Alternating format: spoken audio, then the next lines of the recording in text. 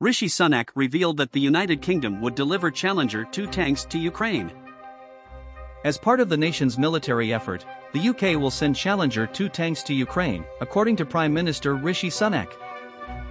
He called Ukraine's President Volodymyr Zelensky on Saturday and affirmed he would provide the tools and more artillery systems, according to Number 10. According to Downing Street, it shows the UK's determination to enhance support. Also anticipated is the delivery of about 30 AS-90S, powerful self-propelled weapons. The decision to send the tanks, according to President Zelensky, would not only boost us on the battlefield but also send the proper signal to other partners, who was praised by the UK.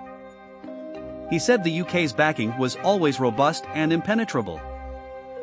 According to number 10, Mr. Sunak and Mr. Zelensky also spoke about recent Ukrainian wins and the need to exploit this opportunity with an acceleration of global military and diplomatic assistance during their conversation.